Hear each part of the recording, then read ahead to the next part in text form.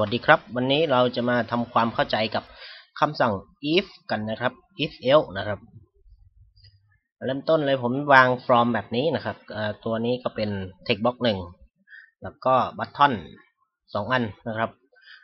เดี๋ยวผมจะเปลี่ยนสีให้ดูน่าสนใจนิดนึง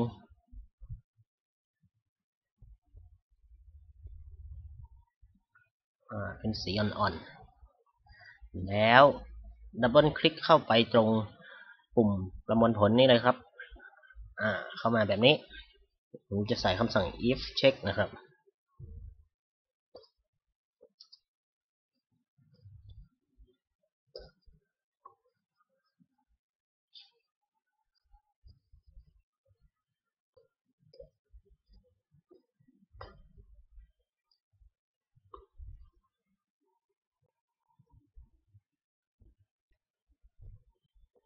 โอเค ผมได้ทำการเช็คถ้า text box ก็คือ text text นี้เป็นค่าว่างก็คือ ตัวสถานะ จะเป็นสีเขียวนะก็รันดู ค่าว่างนะครับ อ่า เป็นสีเขียวแล้ว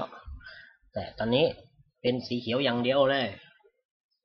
เราจะมาใส่คำสั่ง else ต่อท้ายนะครับ ก็คือ enter ลงมาเลยครับ else หรือ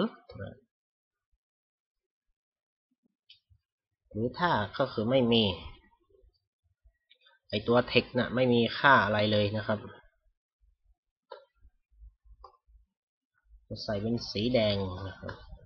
โอเคแบบนี้ก็ได้นะครับอ่าประมวลผลเป็นสถานะเป็นสีแดง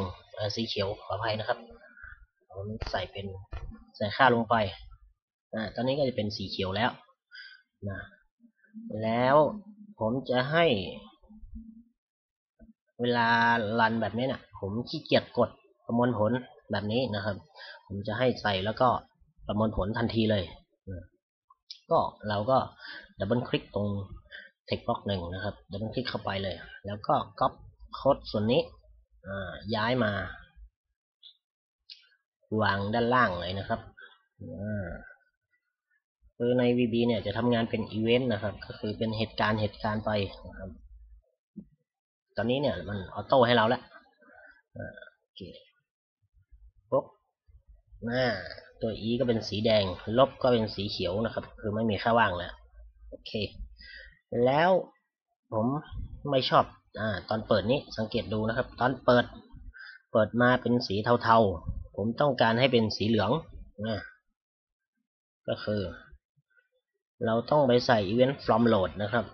มาตรง from คลิกที่ from ว่างๆตรงไหนก็ได้นะครับ แล้วก็ดับเบิลคลิกลงไป แล้วกำหนดสีไปเลยครับ